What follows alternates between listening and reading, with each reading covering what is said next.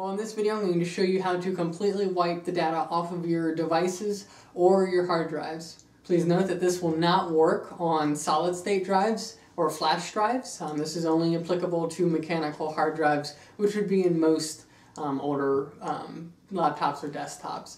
Uh, also, a quick disclaimer I'm not responsible if you accidentally delete uh, data you did not intend to. Um, the disk that I'm going to show you how to create uh, will completely wipe uh, all uh, disk drives, all hard drives in the computer or attached to the computer that you insert this disk into.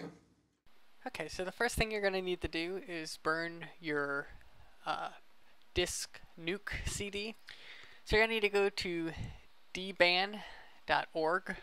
So it's just www.dban.org. On their homepage, you'll just click on download. For this video, we're just going to use the free version here. So you click on this first download link. Wait for your download to start.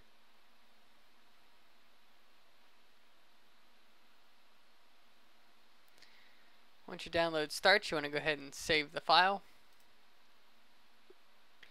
Once your file is done downloading, go to your downloads folder and you'll locate the DBAN ISO image.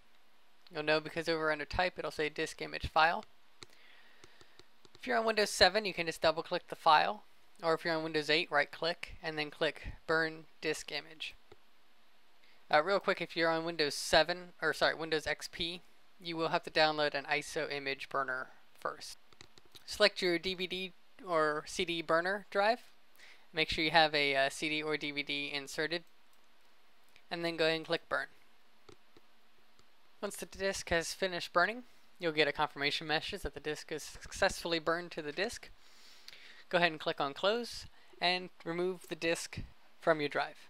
Now please keep in mind at this point this is a live bootable disk and any computer you put this in you run the risk of completely nuking the disk to where or actually the computer to where it will not boot anymore and all the files will be removed. So please use this disk with caution. Don't leave it in your computer and restart it. Um, it's not like it's going to wipe it automatically, but it's just not a safe thing to do. Now, if you're going to be wiping an entire computer, uh, simply insert the disk into the CD drive of the computer you wish to wipe and turn on the computer. If you want to delete any additional hard drives or if you have a bunch of drives sitting around, go ahead and make sure you have those drives hooked into the computer as well.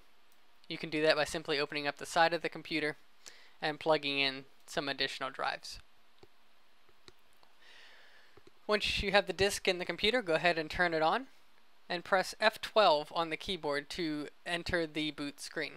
On some computers, it may not be F12, but as you turn on your computer, you should get a prompt on the screen that says boot options and you want to press whatever key it tells you to press. From the boot menu, you want to select CD-ROM and boot from your CD-ROM device.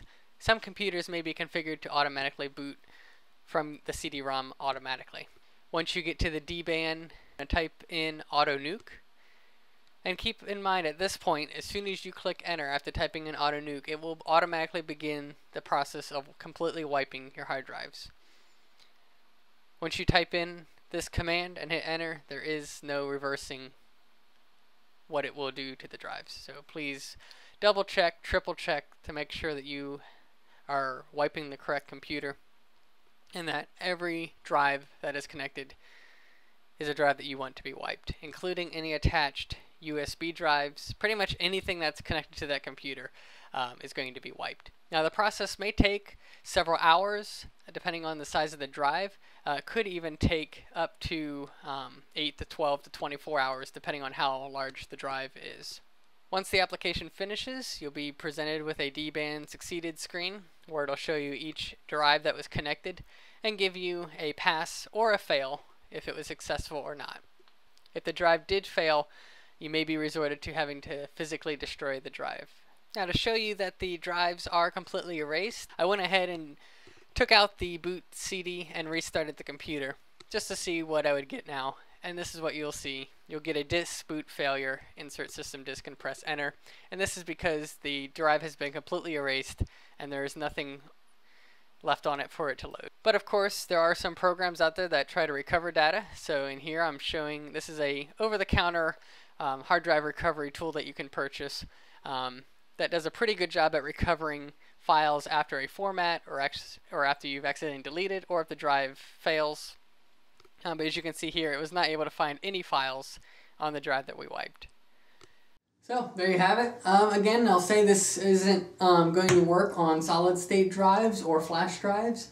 Um, and it's not a guaranteed solution. It's a free solution. It's an easy solution. Um, if you're going to sell or donate your computer, run this on it, wipe everything completely off of it. Um, it's going to be great, you know, for most uses. A regular user is not going to be able to get your, your information back off of your computer. Um, governments, and people that have way more time on their hands, there are still ways to attempt to recover part of the data. Um, but I feel pretty good um, that this is a way to remove all data. It's a method I use um, for drives when I get rid of them, and um, it's been working good for me so far. So thanks for watching my video. If you haven't subscribed to my channel yet, please click the subscribe button and uh, subscribe to my channel. Um, and if you haven't checked it out yet, check out my website at techtipguru.com. There's a forum there. You can uh, sign up for an account, uh, ask questions there, and um, I'll use those um, possibly to make a new video in the future. So again, thank you for watching.